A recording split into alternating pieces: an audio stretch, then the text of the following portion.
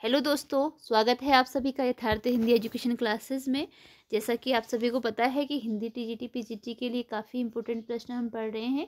ये क्वेश्चन आपके Hindi TGT, PGT, net आदि सभी के लिए काफ़ी इंपॉर्टेंट होंगे। चाहे आप उत्तराखंड हिंदी टीजीटी के लिए तैयारी कर रहे हों या फिर किसी अन्य राज्य के लिए तो सभी में आपके लिए सहायक होंगे ये क्वेश्चन तो चलिए स्टार्ट करते हैं आज की अपनी क्लास को। अगर चैनल पर नए हैं तो चैनल को सब्सक्राइब ज़रूर कीजिएगा।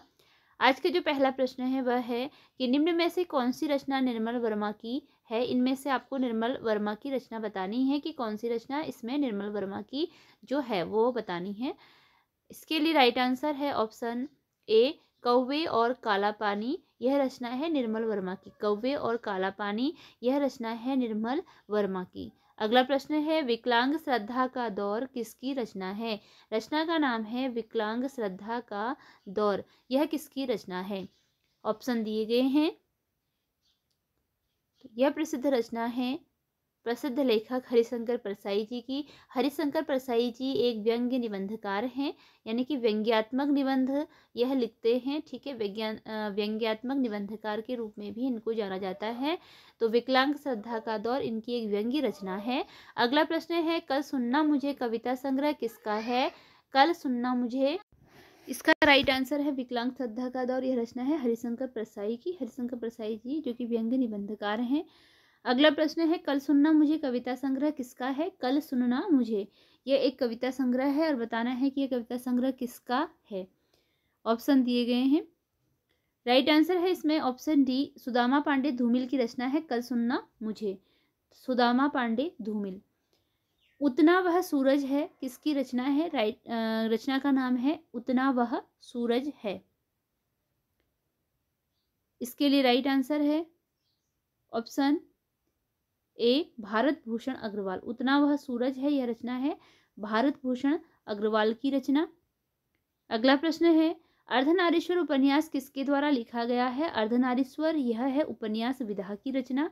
किसके द्वारा लिखा गया है? आपको यह बताना है, अर्धनारीश्वर उपन्यास किसके द्वारा लिखा गया है? राइट आंसर है विष्णु प्रभाकर, ऑप्शन सी। विष्णु प्रभाकर के द्वारा लिखा गया उपन्यास है अर्ध नारीश्वर विष्णु प्रभाकर। अगला क्वेश्चन है, निम्न में कौन सा कविता संग्रह राजेश जोशी का है? जो कविता संग्रह राजेश जोशी का है, वह बताना है।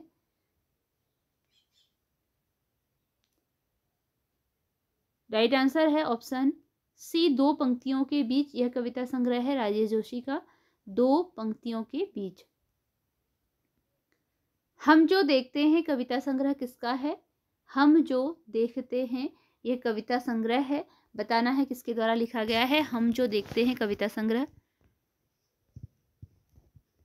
इसके लिए राइट आंसर है ऑप्शन ए मंगलेश डबराल। मंगलेश डबराल की रचना है यह कविता है, हम जो देखते हैं। अगला प्रश्न है, आग की हँसी कविता संग्रह किसके द्वारा लिखा गया है? आग की हँसी कविता संग्रह किसके द्वारा लिखा गया है?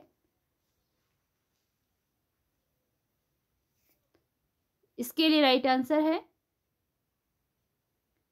ऑप्शन डी राम दरस मिश्र के द्वारा लिखा गया है राम दरस यहाँ पर है राम दरस मिश्र। राम दरस मिश्र की रचना है आग की हँसी, जो कि कविता संग्रह है एक। रामदरस मिश्र के द्वारा लिखी गई है। निम्न में कौन सा कवि तार सप्तक से संबंधित नहीं है? तार सप्तक से संबंधित जो कवि नहीं है, वह बताना है। अब यहाँ पर तार सप्तक का मतलब क्या है? जो सबसे पहले प्रकाशित सप्तक था, वह तार सप्तक कहलाता है। उसे प्रथम तार सप्तक नहीं कहा जाता है, उसे केवल तार सप्तक ही कहा जाता है। तो तार सप्तक से संबंधित जो कवि नहीं है, वह आपको बताना है। और इसके लिए राइट आंसर है ऑप्शन डी, भवानी प्रसाद मिश्र। ये जो तार सप्तक के कवि नहीं हैं, ये किस तार सप्तक के कवि हैं, यह आपको बताना है कमेंट में कि भवानी प्रसाद मिश्र किस तार सप्तक के कवि हैं। ठीक है, भवानी प्रसाद मिश्र, किस तार सप्तक के कवि हैं, ये आपको बताना है।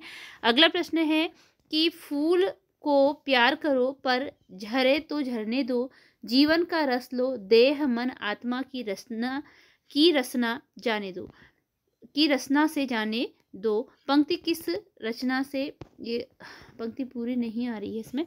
यह कि फूल को प्यार करो, पर झरे तो झरने दो। जीवन का रस लो, देह मन आत्मा की रचना से, पर जो मरे उसे मर जाने दो। पंक्ति की रचनाकार कौन है? यह पंक्ति किस रचना से ली गई है, यह आपको बताना है। और रचनाओं के नाम दिए गए हैं, बावरा, हेरी, इंद्रधनुष रौदे हुए, कितनी नावों में कितनी बार इनमें से कोई नहीं। सारी ही रचनाएँ ये अज्ञे के द्वारा लिखी गई रचनाएँ हैं। इसके लिए राइट आंसर है ऑप्शन ए बावरा, हेरी जो रचना है, इससे यह ली गई पंक्ति है। भीष्म साहनी की भीष्म साहनी की निम्न में से किस रचना में 1840 से 1920 ईस्वी पंजाब की राजनीतिक सामाजिक यथार्थ का अंकन हुआ है? यानी कि पंजाब में 1840 से 1920 के समय जो सामाजिक और राजनीतिक स्थिति रही हुई, रही थी, उस समय का, उस समय की स्थिति का वर्णन हुआ है। इनमें से कौन सी रचनाएँ हैं जिसमें हुआ है? ये सारी रचनाएँ हैं भीष्म साहनी की, कुंतो, मैयादास की, माड़ी या पर मारी हो गया है, ये माड़ी है, ठीक है मैयादास की माँ मैयादास की माड़ी। रचना का नाम है मैयादास की माड़ी। नीलू, नीलिमा, नीलोफर और तमस। सारी रचनाएँ भीष्म साहनी की हैं। किस रचना में पंजाब की राजनीतिक सामाजिक दशा का वर्णन है, वह बताना है तो राइट आंसर है मैयादास की माड़ी। इस रचना में पंजाब की जो सामाजिक और राजनीतिक स्थिति रही थी, उसका वर्णन मिलता है। फिर है मैथिली शरण गुप्त की निम्न में से कौन सी रचना इस्लाम धर्म से संबंधित है? जो रचना इस्लाम धर्म से संबंधित है, वह बतानी है। हिडिम्बा, नहुस, अनग, काबा और करबला सारी रचनाएँ मैथिली शरण गुप्त जी की ही हैं। तो इस्लाम धर्म से संबंधित रचना बतानी है कौन सी है? राइट आंसर है काबा और करबला। काबा और करबला, यह इस्लाम धर्म से संबंधित रचनाएँ थी इनकी। अगला है कि मैथिली शरण गुप्त की काव्य रचना अंजलि और अर्घ। निम्न में से किससे संबंधित है? अंजलि और अर्घ किससे संबंधित रचना है? महात्मा गांधी से, भारतेंदु हरिश्चंद्र से, पंडित जवाहरलाल नेहरू से या जयशंकर प्रसाद से? इसके राइट आंसर है ऑप्शन ए, महात्मा गांधी से संबंधित रचना है। इनकी रचना अंजलि और अर्घ। गाता हूँ अपनी अपनी यहाँ पर लाई हो गया है तो ये लय है। गाता हूँ अपनी लय भाषा, सीख इलाहाबाद नगर में, नगर से। पंक्ति किसकी है? गाता हूँ अपनी लय भाषा, सीख इलाहाबाद नगर से। यह पंक्ति किसने लिखी है? इसका राइट आंसर है ऑप्शन ए हरिवंश राय बच्चन के द्वारा लिखी गई यह पंक्ति है। गाता हूँ अपनी लय से। तो हरिवंश राय बच्चन की यह पंक्ति है। मैथिली शरण गुप्त की रचना, जय भारत में कुल कितने खंड हैं? मैथिली शरण गुप्त की रचना है। जय भारत। इसमें कुल खंडों की संख्या कितनी है बताना है। इसके लिए राइट आंसर है। ऑप्शन डी सैतालीस। जय भारत जो मैथिली शरण गुप्त की रचना है, उसमें फोर्टी सेवन खंड हैं, सैतालीस खंड हैं।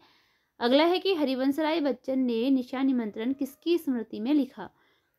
हरिवंश राय बच्चन की जो रचना निशा निमंत्रण है, वह उन्होंने किसकी स्मृति में लिखा है?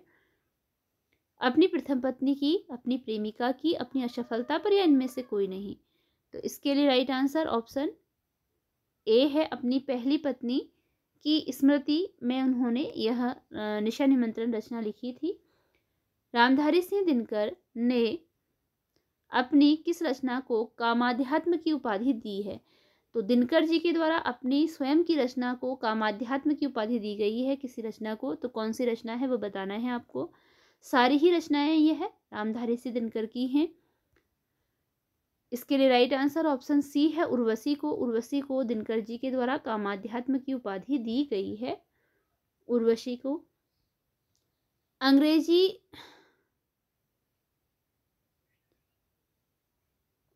इस क्वेश्चन में कोई ऑप्शन नहीं दिया है तो इसके लिए अगला प्रश्न देखते हैं कि वदन का अर्थ होता है, वदन का अर्थ क्या होता है?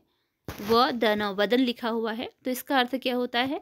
मुख होता है, शरीर होता है, पंख होता है या फिर बन होता है। इसके लिए राइट आंसर है मुख। वदन का अर्थ होता है मुख। अगला है, सर का अर्थ होता है सर। सर का अर्थ क्या होता है? तालाब, बाण, कृपा या बगीचा। इसके लिए राइट आंसर है तालाब। सर का अर्थ है तालाब। ऑप्शन ए इसके लिए राइट आंसर है, सर का अर्थ है तालाब। तो इसी के साथ आज की यह वीडियो यहीं पर एंड होती है। मिलते हैं अगली वीडियो में कुछ नए प्रश्नों के साथ। धन्यवाद।